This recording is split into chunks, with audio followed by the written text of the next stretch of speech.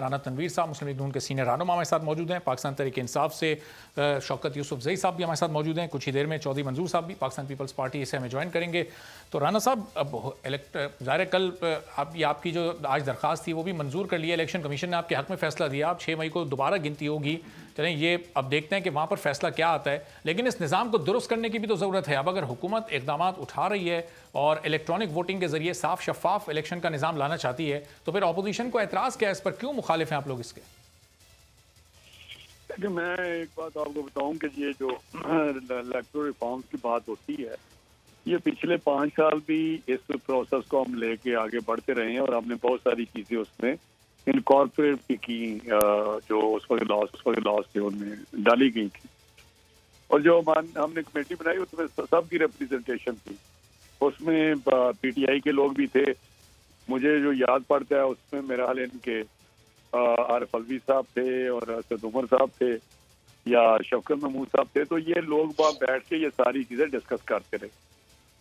जिसपे एक, जो ज़्यादा बात जो हो रही है, वो इलेक्ट्रॉनिक वोटिंग की हो रही है इलेक्ट्रॉनिक मशीन के ज़रिए वोटिंग कराई जाए।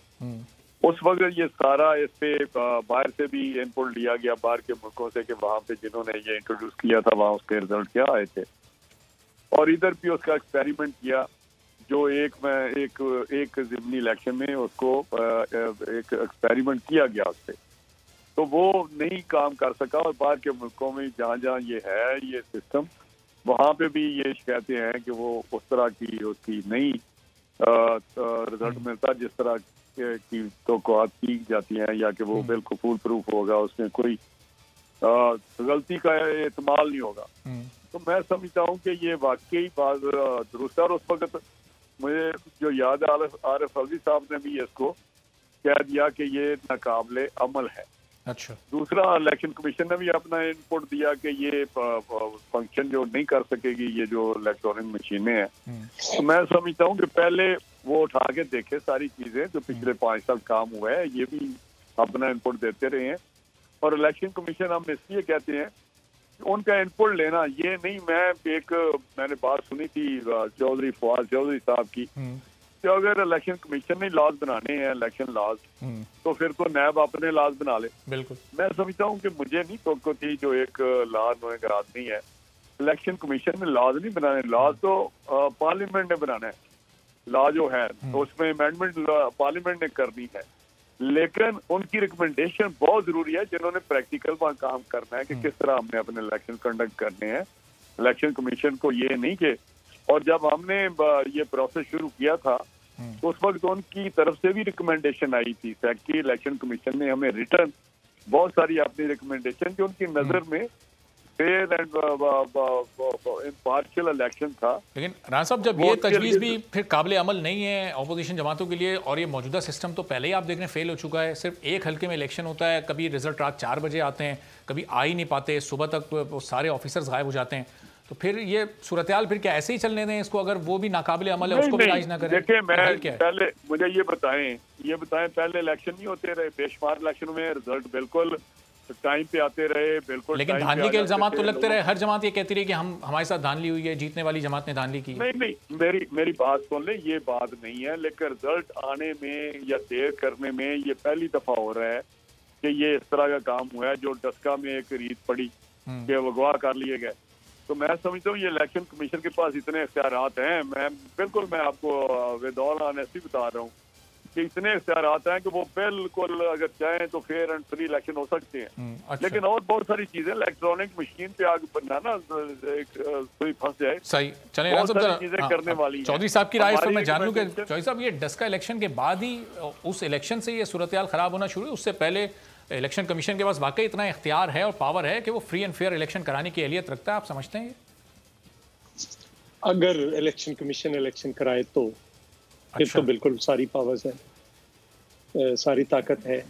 तो मुझे याद है मैं 2012 में मुझे मेरी पार्टी ने भेजा था इंडिया इलेक्ट्रॉनिक वोटर मशीन देखने के लिए और वहाँ पे मैं इलेक्शन कमीशन में मिला था। कुरैशी साहब थे उस वक्त सीनियर मेंबर जो कि बाद में दो साल चीफ इलेक्शन कमिश्नर रहे। सवाल अब ये नहीं है इलेक्ट्रॉनिक वोटिंग मशीन का नहीं है शायद वो भी आ जाए।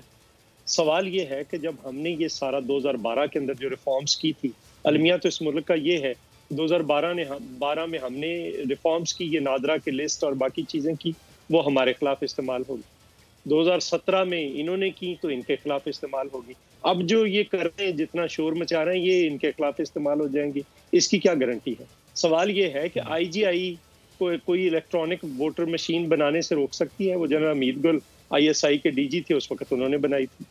सवाल तो ये है कि एस्टेब्लिशमेंट के रोल को कैसे आप काम कर सकते हैं? तो वो भी साथ उन्होंने भी बहुत लड़े हैं। चलो हम थोड़े से शौकत यूसुफ जई साहब से सीनियर हैं बिल्कुल बिल्कुल। मैं 2002 से रान साहब उससे भी पहले से लड़ रहे हैं। रान साहब मुझसे भी सीनियर है मैं 2002 से लड़ रहा हूँ। हम्म। शौकत यूसुफ जई साहब ने भी लड़े हैं। मैं ये नहीं कह रहा कि नहीं लड़े। लेकिन मैं ये बात कह रहा हूँ कि मुझे ये बताएँ दो सौ छिहत्तर पोलिंग स्टेशन है। उनके बैग्स वापस जाते हैं। हम्म। अगर एक मिनट लगे बैग जमा करवा के रसीद वापस लेकर रिज़ल्ट एक एक बंदे का तीस कैंडिडेटों का बोलकर लिखवाने में अगर एक मिनट लगे दो सौ छिहत्तर मिनट अगर दो मिनट लगे तो दो से जरब दे ले अगर तीन मिनट लगे तो चौदह घंटे चाहिए। और मुझे कोई एक इलेक्शन का रिज़ल्ट सुबह चार पाँच बजे से पहले ऑफिशियल रिज़ल्ट बता दे। और रिटर्निंग ऑफिसर कह रहा है साढ़े ग्यारह बजे एयर वाई को इंटरव्यू देते हुए कि तमाम प्रिजाइडिंग ऑफिसर मेरे यहाँ पर मौजूद है। हम्म। सारा दिन कोई किसी पोलिंग स्टेशन पे कब्जा हुआ? नहीं। कोई किसी को वोट डालने से रोका गया? नहीं। हम्म। कोई प्रिजाइडिंग ऑफिसर अगवा हुए नहीं कोई निकाले गए पोलिंग एजेंट नहीं। तो फिर धांधली कहाँ पे हुई? धांधली होती है मुनजम। हम्म। अगर कोई डिस्क्रिपेंसी है या कोई कमी कोताही है तो वो अब ऑर्डर हो गया उसमें दूर हो जाएगी। हमने ये फैसला किया कि हम इसके खिलाफ कहीं नहीं जाएँगे। लेकिन हाँ अलबत् ये ज़रूर है कि जाज जाखरानी पाँच हज़ार वोट से हराया गया पंद्रह हज़ार वोट रिजेक्टेड है उसकी भी जरा इलेक्शन कमीशन गिनती करवा दे। ये हम्म। राजपर साहब हैं उनकी भी जरा करवा दें बाकी जगहों पर भी करवा दें। ये तो हमारा हक है तो चौधरी साहब ये ये केसेस लेकर। ये पहले आप इलेक्शन कमीशन के पास गालबन लेकर गए नहीं ना? अगर आप लेकर जाते तो फिर तीन तीन बार तीन तीन बार सुप्रीम कोर्ट से ऑर्डर लिया हुआ। अच्छा। इलेक्शन ट्रिब्यूनल नहीं गिनती कर रहा। क्या बात कर रहे हैं? इस मुल्क का निज़ाम है कोई।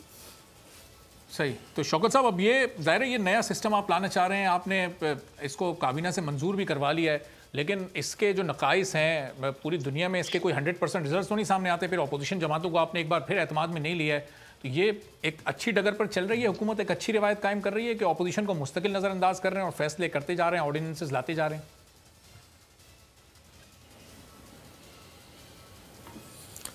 बिस्मिल्लाह देखिए आपका दूसरा हिस्सा तो मैं नहीं सुन सका। इसमें काफ़ी वो आ रही है। आवाज़ डिस्टार्ट हो रही है लेकिन ये जो पहले आपने कहा ना कि ये अपोजिशन को नज़रअंदाज क्यों कर दिया आपने? ऑर्डिनेंस काबीना से मंजूर करवा लिया। देखिए ये आ, मैं मैं अर्ज़ कर रहा हूँ देखिए ना किसी को नज़रअंदाज किया गया है। ये इलेक्शन रिफॉर्म्स की बात तो मेरे ख्याल से इमरान खान शुरू से कर रहे हैं कि ये वो सिस्टम है इस वक्त मुल्क के अंदर राइज है जिस पे किसी को अतमाद नहीं है। हाँ इस सिस्टम से जो लोग फ़ायदा उठा रहे हैं वो उठा लेते हैं जब उनको फ़ायदा नहीं मिलता है वो फिर उसके ख़िलाफ़ हो जाते हैं। तो ये ज़रूरत तो देखिए 2013 से वज़ी अजम जो इमरान खान हैं उस वक्त तो वज़ी अजम नहीं थे उस वक्त से वो लगे हुए हैं कि ये इलेक्ट्रल रिफॉर्म की जाए। कमेटियाँ बन गई इन्होंने उसके बाद क्या हुआ? ये कहते हैं हमने कर दी थी कहाँ है वो रिफॉर्म्स उससे क्या फ़र्क पड़ा? है असल चीज़ देखें हम ये नहीं कह रहे कि आप इलेक्ट्रॉनिक मशीन करें जो करें लेकिन टेक्नोलॉजी का इस्तेमाल पूरी दुनिया के अंदर हो रहा है। हम क्यों नहीं कर सकते? और जब हम समझते हैं कि जो मौजूदा सिस्टम है इसमें फेयर फ्री इलेक्शन नहीं हो सकते। और ख़ुद ही कहते हैं कि जी आर ओ गायब हो जाता है इलेक्शन रिज़ल्ट लेट हो जाता है। तो इलेक्ट्रॉनिक मशीन या टेक्नोलॉजी का इस्तेमाल के अलावा क्या ऑप्शन है? दुनिया में क्यों दुनिया में कहीं इस्तेमाल नहीं हो रहा है ये? ए नूरे खुदा नूरे बसीरत की तलब है। रमज़ान का सदका तेरी रहमत की तलब है। मख्फी है इसी माह में रहमत के करीने। गर्दाब से निकले हुए बख्शिश के सफ़र गोया है तेरे इश्क में हम सब बराबर। मजलिस को तू गुलदस्ता फिरदौस बना दे। रिंदों को सनाए शहलौलाक पिला दे। तू शम्मे कलम को यदे बेजाई अता कर। बच्चों को तो इफ्तार में तस्नीम अता कर। रमज़ान मुबारक की खसूसी नशरियात रमज़ान में बोल सिर्फ़ बोल एंटरटेनमेंट पर। रमज़ान में बोल।